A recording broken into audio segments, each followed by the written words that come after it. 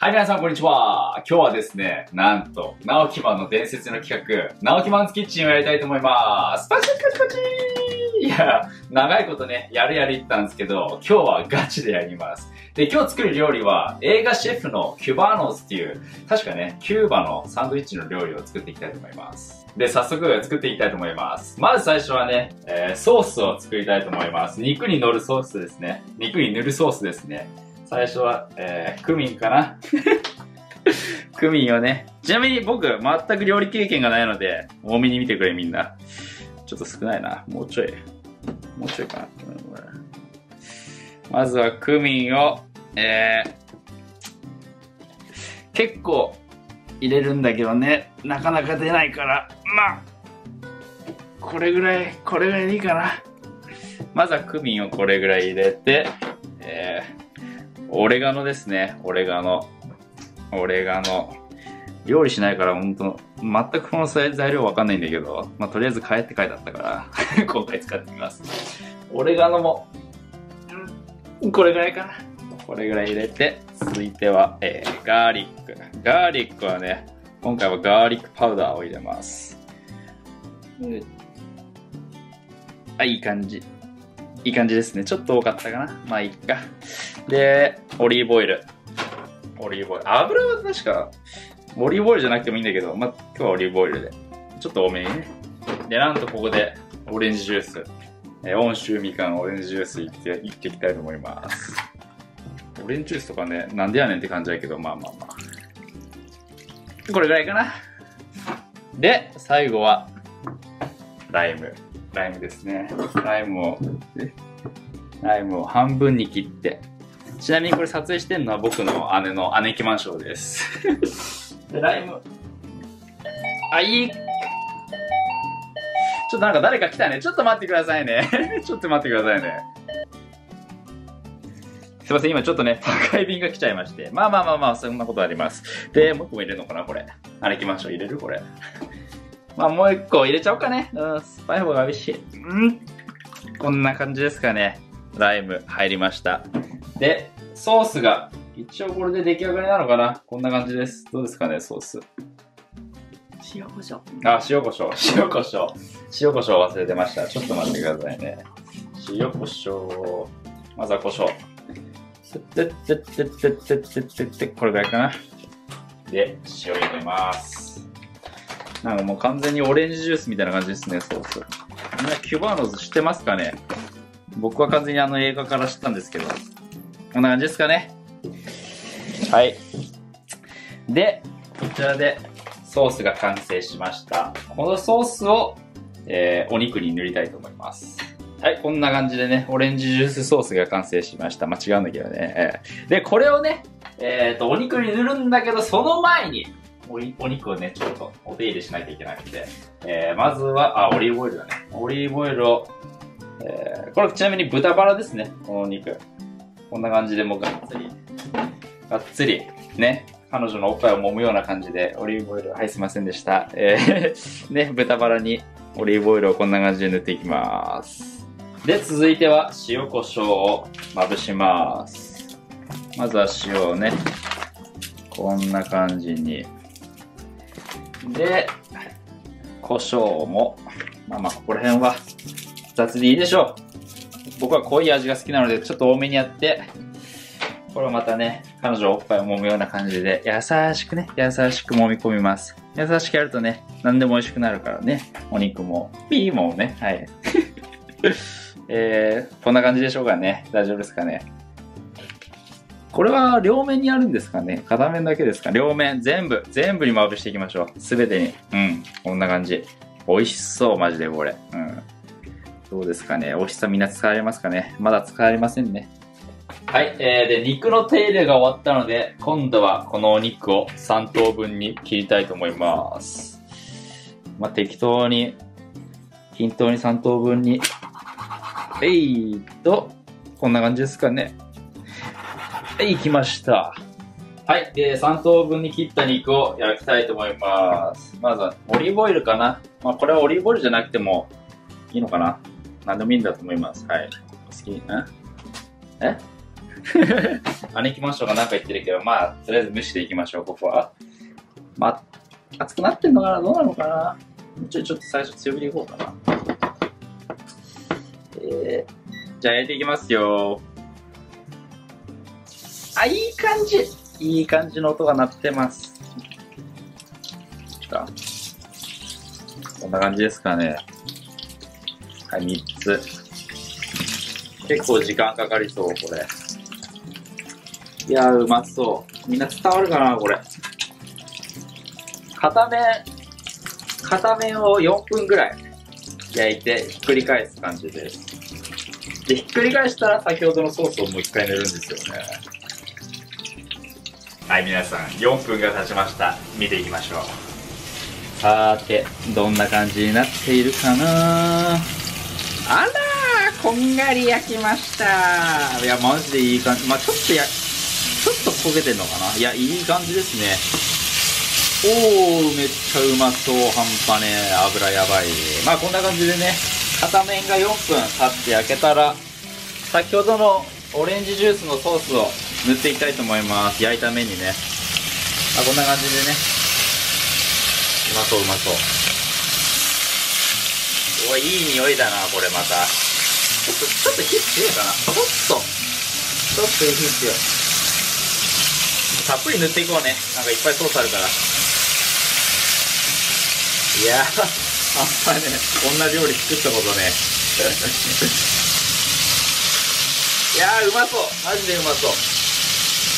まあ、片面にね、こんな感じでソース。いや、マジでうまそう。うん。ソース塗ったら、また4分。大丈夫かなこれ？焼けるかな？なんか形がいびつで焼けるかわかんないけど、まあまあまあまあまあまあ。焼いていきたいと思います。それではまた4分後。それではまた4分後。えー、4分経ったので、4分経ったのでひっくり返していきたいと思います。いやー、こちらも、めちゃくちゃできてるな。いやー、ちょっとできすぎくんですね、これ。やべえな。ん？横、うん、まあ横もね、焼いていかないとね、今日結構分厚い肉なので、火が通んないから、じっくり両面焼いていきたいと思います。で、塗っていこうかな。先ほどのオレンジジュースを。たっぷりたっぷり。たっぷりたっぷり。わけわかんねえ、これとか。わけわかんねえ。まあ、とりあえず塗りまくればいいんですよね。こんな感じで。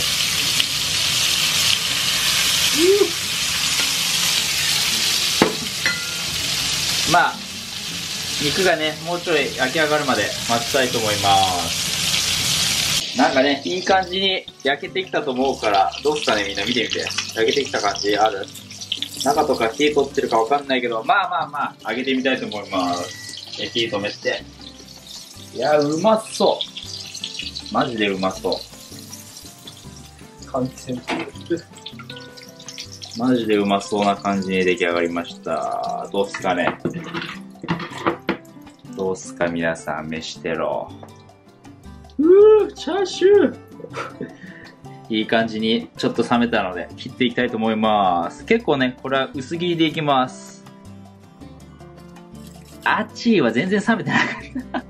こんな感じでね、薄切りで切っていきます。うわ、めっちゃうまそう。まあ、チャーシューだよね。ところどころ赤い、赤い感じがあるけどどうしようかな。まあまあまあ、とりあえず切っちゃおうか。赤かったらもう一回ね、焼けばいいからね。あっちいね。全然冷めてない。ちょっとね、菜箸借りよう。いや、うまそうだな、でも。すごい匂いする。ちょっと一個味見したいな。ちょっと一個味見していいですかね、行きましょ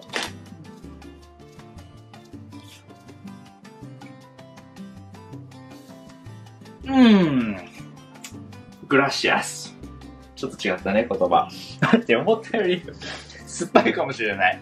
思ったより酸っぱいかもしれない。まあまあまあまあまあ。こういうもんだと思っていきましょう。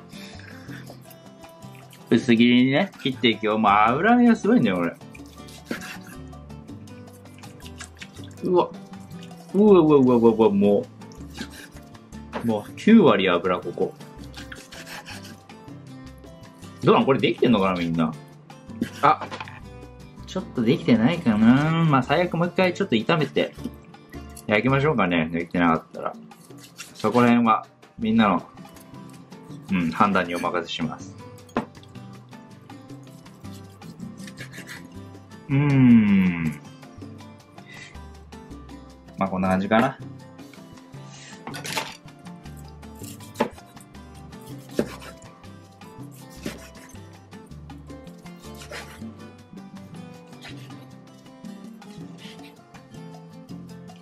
はい、切っていきました。どうっすか？お肉切りました。チャーシューみたいですよね。これどうなの？できてんのかな？姉貴マンションこれできてる？どうっすかね？うん。できてますか？これ。赤くない？これ大丈夫？本当に？僕心配性なのでね、毎回本当にこれできてんのかが心配でね、ピントが全然合わねえ。後ろのオレンジジュースに、あ、どうっすかね？これみんなできてる？まあまあまあまあ、いいでしょう。まあこんな感じで肉を切っていきました。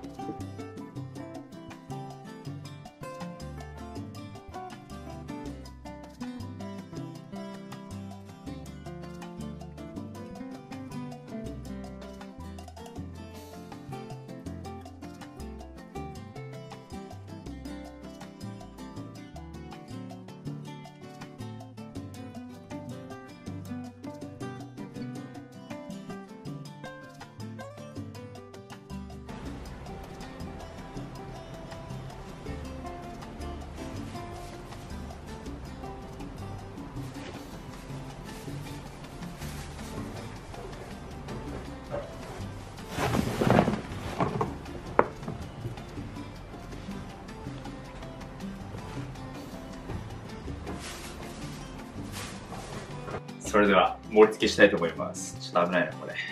えーとね、まあサンドイッチなので、このパン、このパンはね、確かなんていうパンだっけな。まあよくわかんないけど、フランスパンでもないんだよね。なんかまあ、クバーノーズのパンがあると思うんだけど、これは、イタリアのフランスパンってやつを買ってみました。なんかこれしかなかったので。で、こんな感じで、えー、均等にね、やべえな、全然均等じゃねえな、これ。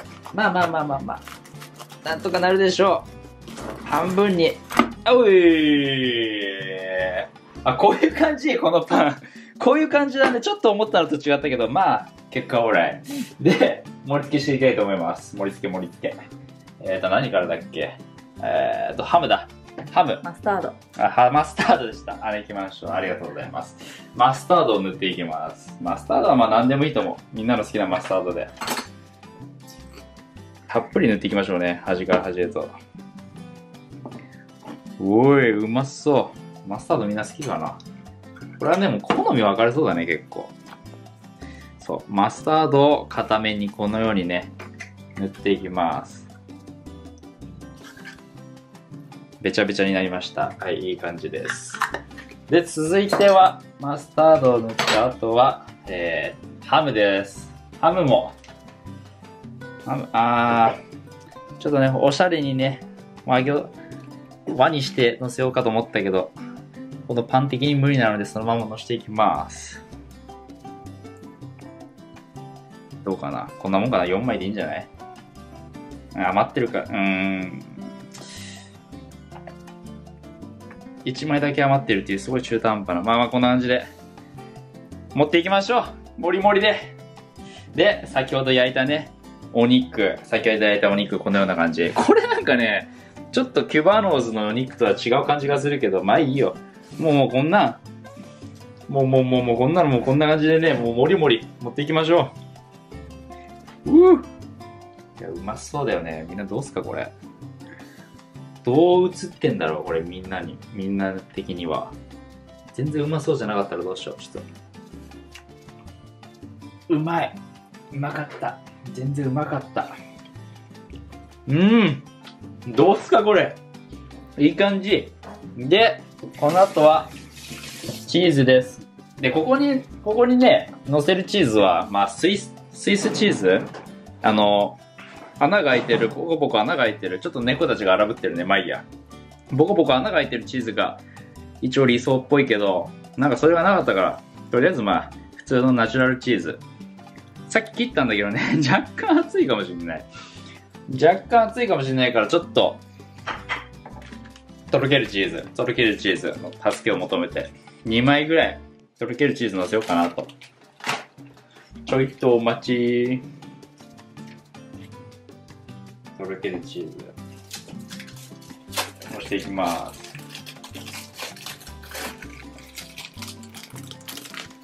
おっと破けてしまった。こんなに、まあ、これぐらいでいい？ああ、でもここもちょっと余ってるね。ちょっと余ってる。かわいそうだから、こいつにもチーズをやりましょう。とろけるチーズを、うん、もう端まで埋めていきましょう。で、続いては、えー、っと、ピクルスになります。ピクルス、これまあ好き嫌い分かれると思うけど、まあ僕は結構ピクルス好きですね。これのピクルスも小さいんだわ、日本の。できればね、バカでかいピクルスポカーンってね、もうこれジャパニーズサイズだからできればアメリカンサイズのね、ピクルスを買ってください。あれば。まあ、みんな作るかわかんないけど。おっと、脱落者が出ました。これなんかすごい光景だな、ピクルス。なんかナマコみたいな感じだけど。これすごいね。すごいこう、これ絶対落ちるね、こいつら。確実に落ちるね、これ。で、盛り付けは以上で、今度はね、えっ、と、もう片方のね、麺、パンのもう片方の麺に、先ほどね、最初に作ったオレンジジュースのソース、塗っていきます。こんな感じで。これね、若干ライムね、さっきね、入れすぎたね。さっきのお肉食べた時ちょっと酸っぱかった。まあ、結果オーライ。最終的にはバカうまになるから。はい、こんな感じで塗っていきました。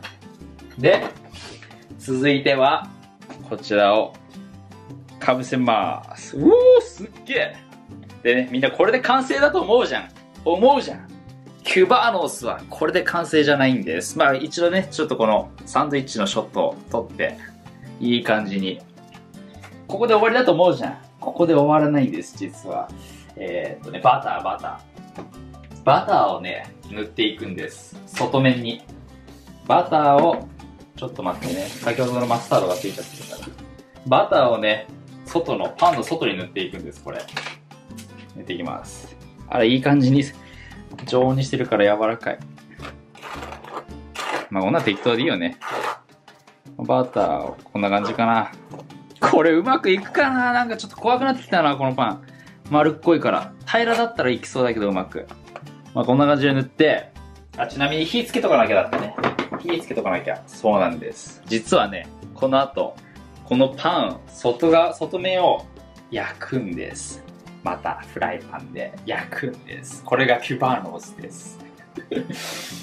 もうちょい火が、ね、フライパン熱くなったら焼いていきたいと思います。フライパンのね、火も熱くなってきたので、このキュバーノース焼いていきたいと思います。いや、怖っこれね、どう、うわ、もう崩れそう。まあ、ここをね、焼くんだけど、どう、あ頑張れ、直樹マン頑張れ、直樹マンこれをね、が、そのままひっくり返して、焼いていきますはいいい感じできた直樹マンもやればできる。ちょっと火強いかなこんな感じで。で、これね、キュバーノズの特徴はね、めちゃくちゃこれ押すんですよ。これをもうね、潰しちゃうの。ぺったんこにしちゃうの。そうそうそう。ぺったんこにこんな感じで。かなり僕今強く押してます。ぺったんぺったんぺったん。そうそうそう、こんな感じ。いい感じじゃない？これ。ね、あれ行きましょう。いい感じじゃない？これ。はい。まあまあ、これで押して、チーズとかね、中の具が溶けてきたら、またひっくり返す感じかな。でこの面にもバターを塗っていきますはい塗っていきます。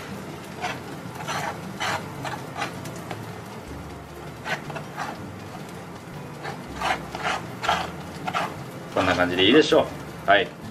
じゃあ、えー焼いたからまたひ後でひっくり返したいと思います。えー、多分ねいい感じに焼けてきたのでひっくり返したいと思います。やべ怖いなこれ。うまくひっくり返せるかな。どうどうしようどうしよう。こうか。よいしょ。ういー。もうちょっと焼きたかったかな。もうちょい焼きたかったかな。あいい音。あ楽器にもなるあすいません。食べ物で遊んでしまいました。湿気湿気でもねいもうちょいもうちょい焼きたかった。思ったよりまあパンがダメなのかな。パンが。これをねまたねそういえば押すの忘れてたわ。そうそう押さなきゃいけないんだ。ういしういういいやいい感じだよでも。いい感じに硬くなってる。パンが。うん。うん。うん。いい感じです。これでまた麺が焼けるまで待つ感じかな。もう片方の麺が。待ちたいと思います。いい感じです。伝わるかなみんなにこれ。めっちゃいい感じに焼けてます。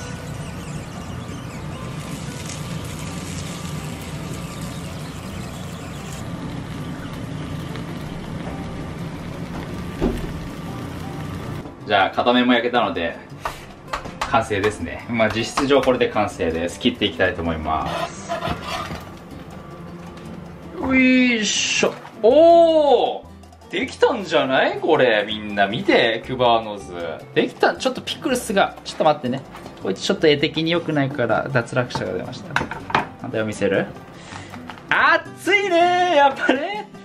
みんな気をつけてね熱いのは。うん、まあ、こっちのが個人的にはいいんじゃない？上として。うん。どうすか？みんなめっちゃうまそうじゃない？まあ切っていくよじゃあ。半分に切っていきますよ。お音聞いてみんな音。見てこの音見てじゃねえよ。聞いてこの音。カリカリだからね。いくよ音。えー、怖い怖い。熱くてできない。熱い熱くてできない。いきますよみんな。ああ。いきました。どうすかね。うまそう。俺にはうまそうに見えるけどみんなどうすかね。肉ばっかな感じねこの肉ばっかな感じ。一口いただいちゃっていいですかね。うわ熱いね熱いね。どうみんなこれ。うまそううまそう。飯テロ。ピント合ってる？あったかな？じゃあちょっと一口いっていきたいと思います。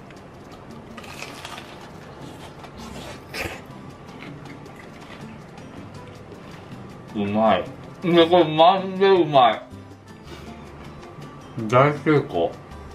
皆さんこれ大成功。マジで。全部の素材が生かされてます。これ本当に美味しい。まあ本当に美味しいこれ。うん。これ本当に大成功。うん。みんなもぜひ作ってほしいですねこれは。まあ僕ね野菜が好きだからできればね野菜とか入れたい気持ちもあるけどまあまあキュバーノーズキュバーノーズはこういうもんなんでしょうね。うん。美味しいです。いやー皆さん完成しましたよ。もうこれね僕の今日の夜ご飯なんですけどどうすか？ねいい感じにマジでいい感じに出来上がったよね。いい感じに潰してうんキュバーノスで確かねめちゃくちゃ潰してねこうぺったんこになるサンドイッチで。まさにこんな感じなんですよ。ちょっともう一度一口いきたいと思います。おいしい。おいしい。なんだろう味はねマスタードとお肉のうんお肉のあのちょっと酸っぱいソースピクルスチーズ、うん、伝わらない味、うん、ごめんねみんな。俺食レポ下手だから。とりあえず美味しいです。どうすかね？ナッケマンズキッチン。最初の。最初のっていうか第1回目なんだけど。どうでした？皆さんナッケマンズキッチン。うまくいったかね？まあ個人的にね料理はめちゃくちゃ大成功だったから満足してるけど、まあ、動画的に面白かったのか、まあ、みんなの感想を聞かせてください。でまあやってほしかったらこういった料理作ってくれみたいなリクエストしてくれたら、うん、作るか分かんないけど、まあ、頑張っていきたいと思うので。じゃあ今日はこんな感じでした。それでは皆さんご視聴ありがとうございました。